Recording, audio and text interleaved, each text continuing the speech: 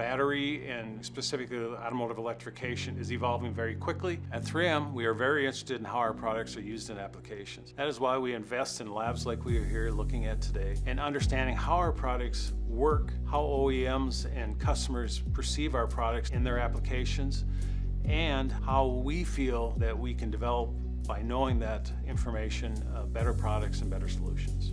I'm Mark Fairbanks. I lead the verification and validation portion of the Automotive Electrification Incubation Lab.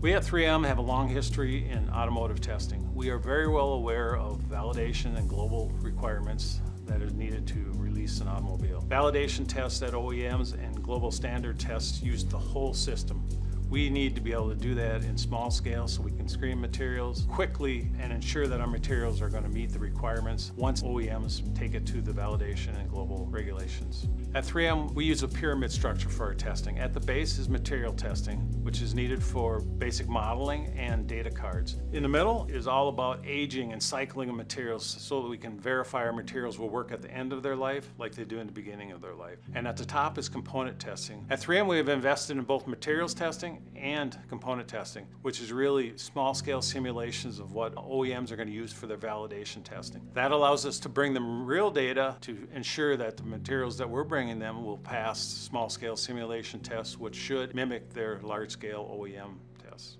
Component testing is all the way up to 15 kilowatt hours, so we are able to mimic small scale applications up to 15 kilowatt hours and do actual thermal runaway events, abuse testing, and be able to prove that our materials will work in actual thermal runaway events. That gives us the most confidence and also gives the OEM the most confidence that will survive validation testing. This is helping us in our product development and our customers in their design goals, and this is really needed in this rapidly expanding environment.